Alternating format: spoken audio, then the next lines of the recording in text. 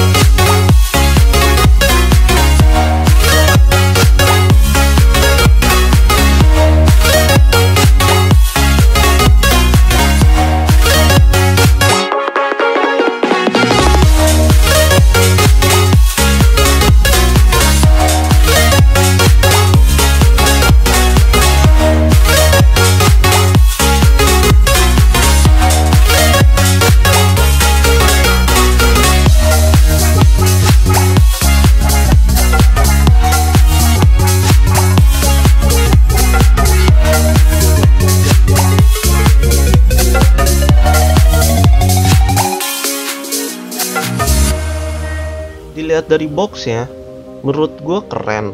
Ada gambar headsetnya dan tulisan Rexus Phonix F55.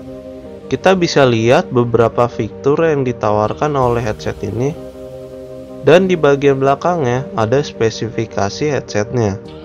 Untuk spesifikasinya kalian bisa lihat di deskripsi. Oke, langsung aja kita buka boxnya.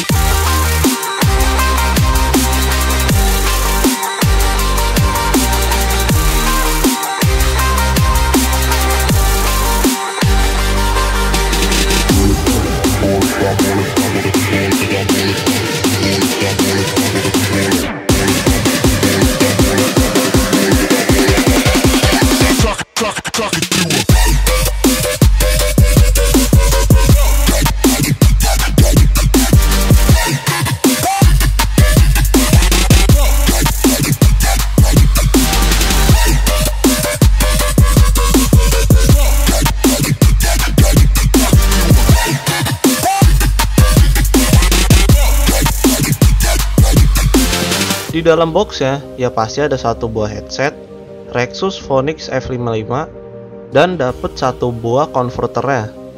Fungsinya buat speaker dan mic. Untuk warnanya, hitam doff dengan aksen merah dan chrome. Di bagian sampingnya ada modelnya, kayak futuristik gitu, simple dan elegan. Gue suka modelnya. Juga ada logo Rexus di tengah-tengah. Dan di bagian sampingnya ini bisa nyala lampu LED, tapi bukan RGB. Ngomong-ngomong soal warna, headset ini menyediakan tiga pilihan warna, yaitu warna biru, merah, dan oranye. Kalau untuk bahannya, headset ini terbuat dari plastik. Plastik yang solid, kokoh, dan gak mudah patah. Untuk ear cupnya, bahannya dari kulit. Waktu gue pakai nyaman banget di telinga Headset ini ringan dan tidak bikin pegel leher.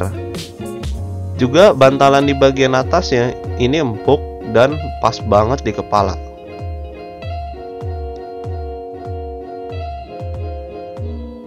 Gue suka mikrofonnya, karena mikrofonnya ini bisa dibuka dan dilipat ke atas.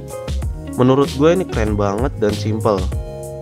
Untuk jarak dari mikrofon ke mulut, menurut gue agak jauh. Kalau untuk pengaturan headset ya terbuat dari aluminium, nggak terlalu berisik waktu kita atur dan pengaturannya bagus, bisa diatur sesuka hati. Di bawah pengaturannya ada tulisan Rexus berwarna chrome juga di bagian bawah logonya. Ada warna chrome yang keren dan elegan, nambah nilai buat headset ini. Kita ke bagian bawah yaitu kabel.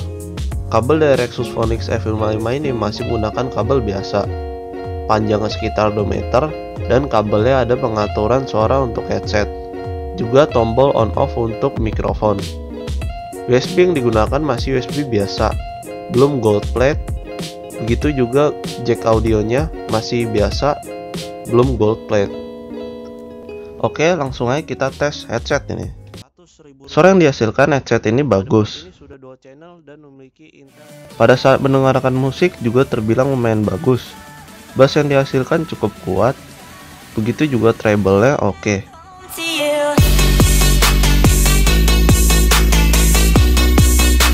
tidak ada kendala dan enak didengar. Pada saat volume dinaikkan, suara tidak pecah, melainkan tambah seru. Solusinya pergi ke mbah dukun saja langsung sambat. Mbah, saya putus cinta. Pada saat digunakan bermain game, suara yang dihasilkan juga bagus. Gue bisa dengar suara step kaki musuh dari jauh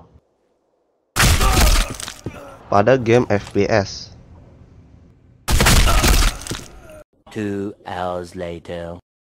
Setelah digunakan bermain berjam-jam, headset ini tetap nyaman dan tidak bikin pegel kepala atau leher. Untuk mikrofonnya, mari kita tes. Halo semuanya, gue Gio. Suara yang saya dengar adalah suara dari headset gaming Phonix F55. Halo semuanya, gue Gio. Suara yang saya akan dengar adalah suara dari headset gaming Phonix F55. Suara yang dihasilkan oke, okay, tapi gue gak tahu kenapa suara dari handphone jauh lebih bagus daripada suara dari komputer. Mungkin karena software yang gue pakai atau colokan jack audio komputer gue yang jelek. Tapi sesuai dengan harganya yang low budget. Kesimpulannya, headset ini bagus. Dari segi penampilannya keren, elegan, dan suara mikrofonnya lumayan jelas. Cocok buat kalian para gamer low budget. Untuk harganya, headset ini gue beli dengan harga 175.000 di Tokopedia.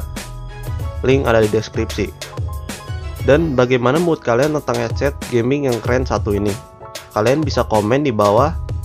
Jangan lupa like jika kalian suka video ini dan subscribe supaya kalian gak ketinggalan update. Gua Gio, see you in next video.